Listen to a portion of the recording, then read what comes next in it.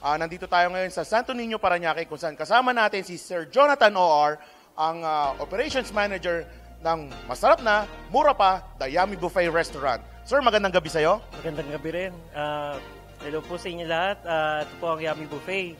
Ngayon, Sir Nate, gano'n na ba katagal itong restaurant natin? Actually, 8 months pa lang siya. Ah, nagsimula kami ng May.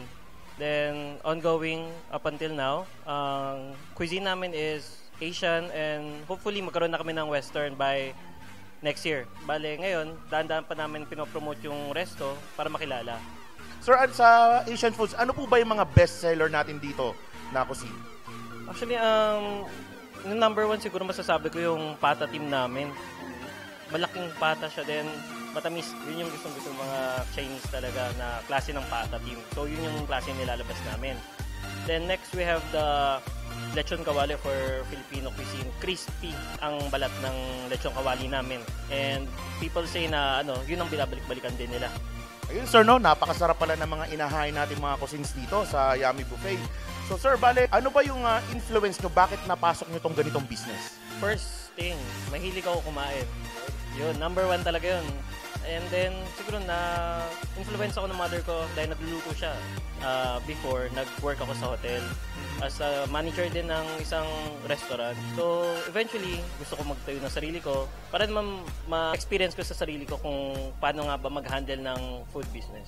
Yun, so talagang ah, from ah, being a employee to become an em- entrepreneur, sabi nga nila. So sir, ah, aside from being a restaurant owner, sir, ano po ba yung mga ating hilig?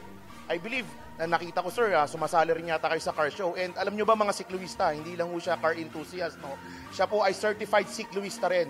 So sir, ah, pwede nyo bang ah, sabihin sa ating mga sikluista na nanonood ngayon eh, saan bang matatagpuan si Yummy Buffet?